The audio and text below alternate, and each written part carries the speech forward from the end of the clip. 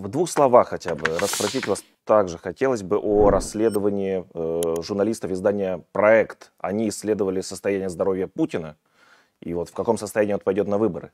И там большое расследование, они писали о том, что, значит, Путин необычайно активен в определенные дни, после этого молчанка, после этого пауза, они обращали внимание на какие-то аномальные вещи да, в его поведении, которые связаны, что вот с этим международным лидером он э, сидит за огромным гигантским столом, а вот с другими там людьми в Дагестане может выйти и фотографироваться, и целовать в живот детей и прочее, прочее. Ну, все это мы знаем. И они также говорят о том, что есть большое большая разница между Путиным, который ходит э, с охранником и врачами, которых тоже идентифицировали, и Путин, который ходит без этих людей, да, и люди, которые там носят ему этот чемоданчик, так называемый ядерный, и так далее. И по сути они приходят к выводу, к заключению, что да, вот двойник принимает участие в каких-то мероприятиях вместо, вместо Путина. Ну да, вот я процитирую, у меня как Хорошо. раз перед глазами некоторые э, выдержки из этого исследования, издания «Проект». Вот на многих встречах, пишут э, авторы, президент старается держать дистанцию от собеседников, и так было на 43% от общего числа э, мероприятий российского президента за год. Еще в 36 случаях процентов случаев, то есть ну, больше, чем треть случаев, все участники встречи должны были вообще отсидеть на карантине. То есть две недели на самом деле. Об этом писали э, подробно многие независимые средства массовой информации, что две недели в специальной гостинице ведомственной, находящейся в управлении Федеральной службы охраны, сидят люди в полном комфорте, но абсолютно в полной изоляции. Их там поют, кормят, э, но они ни с кем не общаются, включая, не общаются друг с другом. И только потом их там запускают в зал, э, где сидит президент, и при этом э, дистанция все равно выдерживается. Это не то, что он с ними ходит, плечами трется, ручкуется. Нет, нет, это вот просто такая, такой карантин просто для того, чтобы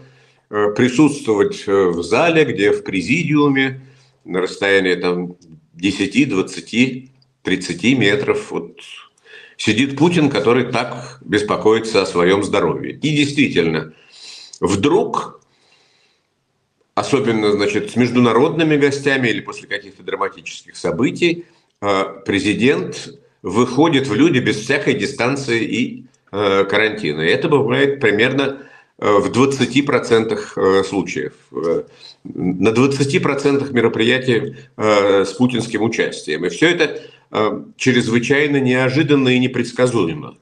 Мы это сами же видели. Вот то Путин, помните, стоит в каком-то кремлевском зале на церемонии вручения верительных грамот, и не то, что там на большом расстоянии находится, даже подчеркивает это словесно. Он говорит, вот извините, пожалуйста, уважаемые э, господа, чрезвычайные полномочные послы разных стран, вот не могу к вам подойти, не могу с вами пообщаться, потому что у нас здесь еще действуют карантинные меры. Все падают в обморок, потому что э, все помнят, что карантинные меры отменены там год или полтора назад – и тут же, буквально на следующий день, без всяких карантинных мер, он э, где-то идет в тол- толпу, руки пожимает. И, ну, что здесь остается подумать? Что на самом деле в толпу ходит э, просто похожий на него человек, двойник. Я этого исключить совершенно не могу, знаете, вот я этого совершенно не могу исключить.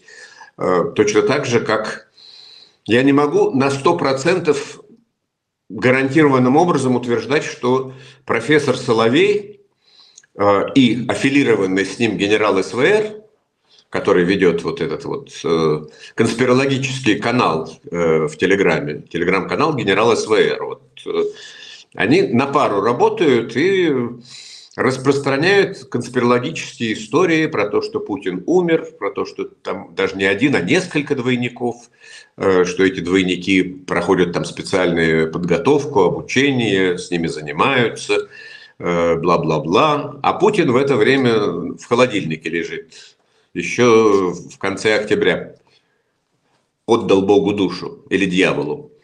Скорее дьяволу, да. Вы понимаете, я не могу на 100%... Я понимаю, что это все, конечно, э, какая-то полная ерунда, как кажется. Ну, а вдруг нет? Я оставляю один процент на то, что а вдруг вот действительно случилась такая вот история, что в какой-то момент Путин занемог, заболел, растерялись, не знали, что делать. А у него уже был там, я не знаю, какой-то двойник, который использовался, вот, знаете, чтобы показать его на большом расстоянии. Из соображения безопасности, да, вот. Когда он где-нибудь там на каком-нибудь митинге на трибуну выходит и ручкой машет, и, может быть, там несколько общих слов говорит. Ну, на самом деле, э, для хорошо загримированного актера, который умеет подражать э, голосам других людей, Задача абсолютно осуществимая, да. И потом вдруг, вот представьте себе, они втягиваются вот в эту игру.